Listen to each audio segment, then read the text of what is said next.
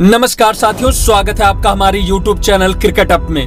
साथियों ICC world cup 2023 की तैयारियाँ जोरों पर हैं। ऐसे में भारतीय टीम के चयनकर्ताओं ने कुछ ऐसे खिलाड़ियों को बाहर का रास्ता दिखाया है, जिन खिलाड़ियों ने अपने बेहतरीन प्रदर्शन के बलबूते भारतीय टीम को कई बड़े खिताब जिताने में निभाई थी अहम भूमिका। तो आखिरकार कौन है ये खिलाड़ी, जो बन गए भारतीय चयनकर्ताओं की नज़रों में गुनहगार?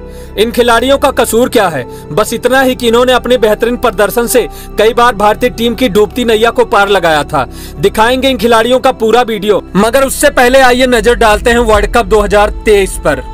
साथियों, आपको जानकर हैरानी होगी कि पहली बार एक दिवसीय क्रिकेट वर्ल्ड कप का आयोजन पूरी तरीके से भारत में किया जा रहा है। इससे पहले तीन बार वर्ल्ड कप भारत में हुआ, लेकिन पूरी तरीके से भारत में ना होकर भारत, पाकिस्तान, श्रीलंका, बांग्लादेश संयुक्त देशों में मिलकर हुआ था। दोस्तों वर्ल्ड कप 2023 को लेकर भारतीय टीम ने अभी से ही तैयारी करना शुरू कर दिया है। क्योंकि एक दिवसीय वर्ल्ड कप 2023 से पहले भारतीय टीम के पास बस मुट्ठी भर का समय बचा हुआ है। वर्ल्ड कप 2023 के पहले भारतीय टीम को अपने खिलाड़ियों को आजमाने के लिए ज़्यादा समय भी नहीं बचा, क्योंकि वर्ल्ड कप के पहले भारतीय टीम के पास बस एक लास्ट वनडे सीरीज़ बची हुई है। वह भी भारत और ऑस्ट्रेलिया के बीच में मार्च के महीने में खेला जाएगा। ऑस्ट्रेलिया के खिलाफ भारतीय टीम के इस सीरीज़ के बाद भारतीय टीम को आईपीएल तो वहीं आईपीएल के तुरंत बाद भारतीय टीम को एशिया कप में खेलना होगा। ऐसे में भारतीय टीम के पास बहुत ही कम समय बचा हुआ है कि वर्ल्ड कप को लेकर अपनी तैयारियों को और मज़बूत कर सके। तो चलिए बात करते हैं उन खिलाड़ियों के बारे में, जिन खिलाड़ियों के बेहतरीन प्रदर्शन के बाद भी भारतीय चयनकर्ता उन्हें 2023 के वर्ल्ड कप में मौका नहीं देना चाहते हैं। साथियों वर्ल्ड कप खेलना हर किसी खिलाड़ी का सबसे बड़ा सपना होता है। लेकिन आपको जानकर हैरानी होगी कि भारतीय टीम में तीन खिलाड़ी ऐसे भी हैं जो भारतीय टीम के लिए कई बार संकट मोचन बनकर भारतीय टीम को जीत दिलाने में निभाई थी अहम भूमिका।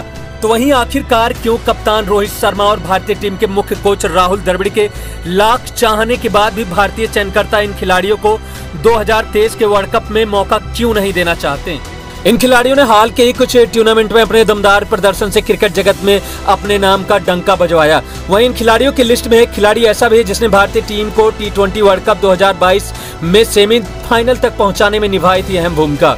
तो वहीं भारतीय टीम का वह दूसरा खिलाड़ी जिसे इस वर्ल्ड कप में खेलने का मौका नहीं मिलने वाला, उसने हाल में ही ऑस्ट्रेलिया और न्यूजीलैंड के खिलाफ अपने दमदार प्रदर्शन के बलबूते टी में भारत को सीरीज़ जिताकर विरोधी टीम के हौसले को चकनाचूर कर दिया था।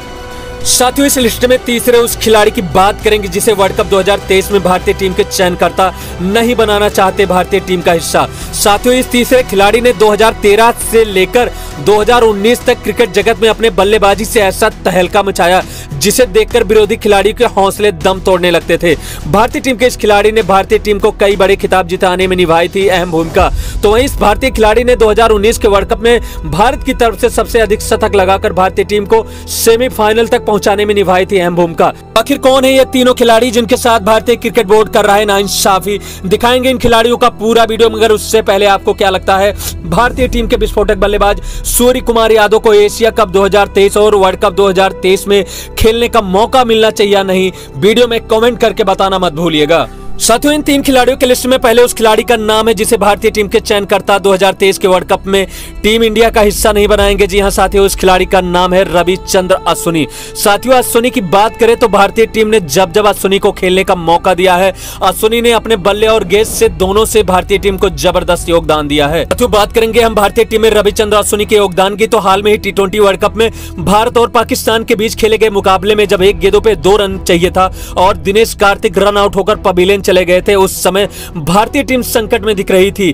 तो इस मैच में अश्विनी ने लॉन्ग ऑफ़ के ऊपर से चौका मारकर भारतीय टीम को जीत दिलाई थी। सिचुएशन के आधार पर भारतीय दर्शक अश्विनी के इस चार रन को कभी नहीं भूलना चाहेंगे। साथियों, बात करेंगे टेस्ट मैचों में रविचंद्र अश्विन के योगदान की। तो भारतीय टीम की तरफ़ से अश्विनी अब तक के सबसे सफल स्पिन गेंदबाज हैं। अश्विन के बल्ले से अभी तक टेस्ट मैच में कुल तीन शतक आए हैं और 450 से अधिक विकेट जो किसी भी भारतीय स्पिन गेंदबाज में सर्वश्रेष्ठ प्रदर्शन रहा अश्विनी का।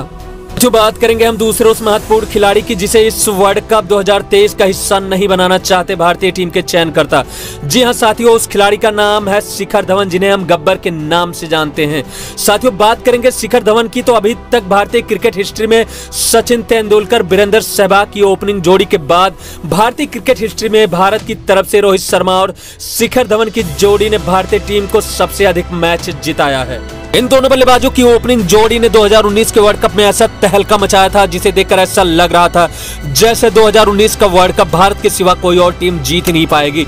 लेकिन सेमीफाइनल के मुकाबले के पहले प्रैक्टिस के दौरान शिखर धवन के चोटिल हो जाने के बाद ओपनिंग की ज़िम्मेदारी के राहुल को मिली थी, जिसका परिणाम यह हुआ कि भारतीय टीम सेमीफाइनल का मुकाबला हार कर करोड़ों भारतीय फैंस के वर्ल्ड कप जीतने के सपने पर पानी फेर दिया था। यह खिलाड़ी अगर जो चोटिल ना हुआ होता तो 2019 का वर्ल्ड कप भारतीय टीम के पास होता। दोस्तों, इस लिस्ट में हम बात करेंगे तीसरे उस भारतीय खिलाड़ी के बारे में जिसे भारतीय चयनकर्ता आईसीसी वर्ल्ड कप 2023 का हिस्सा नहीं बनाना चाहते।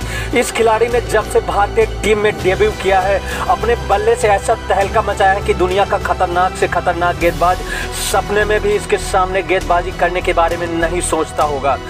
इस बल्लेबाज ने बहुत ही कम समय में क्रिकेट जगत के बड़े से बड़े रिकॉर्ड को अपने नाम किया है। जिस रिकॉर्ड को बड़े बड़े खिलाड़ी बरसों तक खेलने के बाद भी नहीं हासिल कर पाए। जी हाँ साथियों, आप समझ गए होंगे हम किस खिलाड़ी की बात करें उस खिलाड़ी का नाम है सूर्य कुमार यादव। सूर्य कुमार यादव को भी भारतीय चयनकर्ता आईसीसी वर्ल्ड कप 2023 का हिस्सा नहीं बनाना चाहते। उसके पीछे बड़ी वजह यह है कि सूर्य कुमार यादव ने अभी तक अपने कैरियर में 25 वनडे मैच खेले हैं, जिनमें उनके बल्ले से एक भी शतक नहीं आया है और उनका औसत भी मामूली रहा है। हालाँकि सूर्य कुमार यादव एक विस्फोटक बल्लेबाज हैं और वह मैच का रुख किसी भी तरफ़ मोड़ने में सक्षम है, लेकिन भारतीय चयनकर्ता उनकी जगह पर श्रेयस अय्यर को को मौका देना मुनासिब समझते हैं। दोस्तों, आपको क्या लगता है इन तीनों खिलाड़ियों में से किस भारतीय खिलाड़ी को भारतीय चयनकर्ताओं को आईसीसी वर्ल्ड कप 2023 में मौका देना चाहिए? वीडियो में कमेंट करके बताना मत भूलिएगा।